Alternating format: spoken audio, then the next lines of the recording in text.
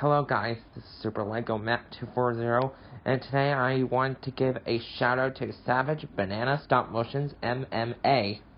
He is a great YouTuber and he did some he did some short Lego videos some outs or maybe some um, stop motion contest or he did video game videos too also and I know he's a fan of Star Wars and all that. So yeah, so if you want to see his channel, the link of his channel is in the description. Make sure to like, comment, and subscribe to him and see his videos. And make sure to like, comment, share, and subscribe for more of my LEGO videos. Bye.